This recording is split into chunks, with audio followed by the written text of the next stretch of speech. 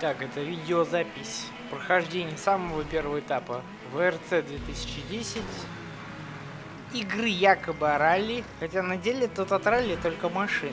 Кстати, это единственное, что в этой игре действительно выглядит хорошо. Все остальное выглядит просто ужасно.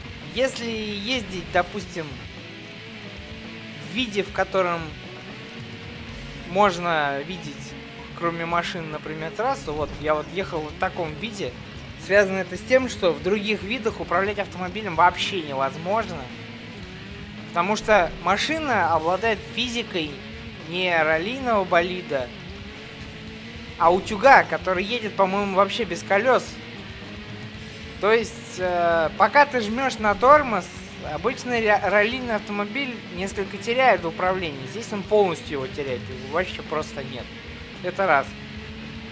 Во-вторых, вот как вы видите, сейчас меня на трассе носят, и тем не менее машину не бросает. Ее носит чисто визуально, то есть э, она сама при этом не меняет никак э, своего направления движения. А вот в виде от первого лица так вообще играть невозможно. Полюбуйтесь. Вне зависимости от того, какой вид от первого лица используется, трасса выглядит очень размыленно. Причем это явно особенность именно этой игры. То есть э, вот глаза начинают болеть от того, что трасса впереди выглядит ужасно плохо. В сравнении с Дертом здесь просто ужасающий вид именно самой трассы. При всем при этом Управление, например, на виртуальный руль настроить невозможно. Поддерживаются только реальные рули, причем очень ограниченный список. Связано это с проблемами лицензирования, то ли с проблемами э, вообще как таковыми упрямости рук разработчика. Ну, с другой стороны, я вот, например, наблюдаю, как они делают мотоциклетные игры с 2000, по-моему, шестого года. Единственная годная игра, которую они выпустили, это был Superbike Raiding Challenge, э, игра 2006 года, потом они купили, получили лицензию на сначала на SBK э, Superbike э, Championship, потом на MotoGP. И в обоих случаях они выпускали абсолютно не запоминающиеся, неинтересные игры. И вот в 2010 году они добрались и до ралли, пожалуйста. Вот. Игра про ралли, в которую неинтересно не ездить непосредственно в ралли. В которой машину носит по трассе, как будто она, ну, реально, вот, видите, пожалуйста. Ну, то есть, колеса едут отдельно, машина едет отдельно. Вообще, хотя бы в чем здесь связь? То есть физика здесь на уровне, я не знаю, очень плохая физика, скажем так, Колин Макрей Ралли 2. Вот там в аркадном режиме такая вот приблизительно физика и была. То есть только в аркадном. Почему здесь так сделали, что машину...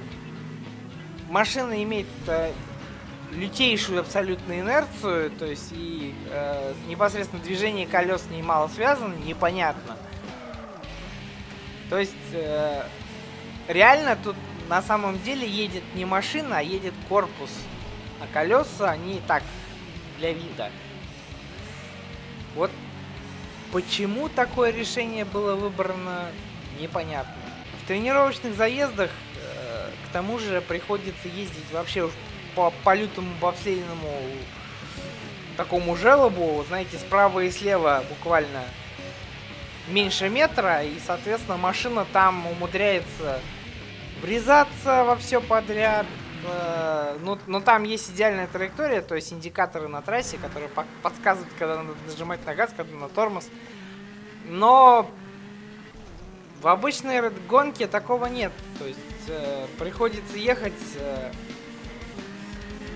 или вот с таким видом, или с таким, или смотреть на машину со стороны. Ну, то есть издалека. Такой вид э, к сожалению, невозможно врубить нормальные виды, то есть выбора никакого нет. Вот.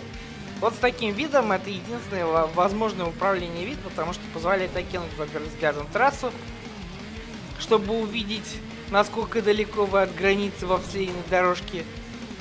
Э, но тут вылазит другая проблема, то есть видно, что, собственно, кроме самой трассы, э, кстати, плоская как блин.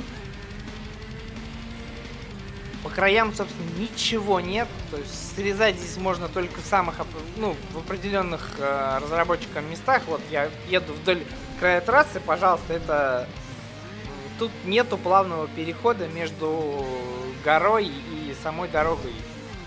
Это очень халтурно сделано, то есть с расчетом на то, видимо, что игрок будет нестись и ничего видеть не будет. Но, к сожалению, так как вперед смотреть здесь совершенно невозможно, то ты начинаешь, то твой взгляд начинает ловить э, именно такого рода огрехи. Ну, э, в общем, я уже и так потратил для этой игры слишком много времени, потому что вот эту вот трассу я прохожу уже, наверное, раз десятый что я надеялся как-то улучшить результат, как-то научиться совладывать с физикой. Но поверьте, лучше играть в Тока Race Driver 3 2005 года, кататься в ралли там на Рено, чем вот в это в 2010 году, даже с рулем. А уж без руля так и подавно. Лучше играть Driver 3. Или в Macro Rally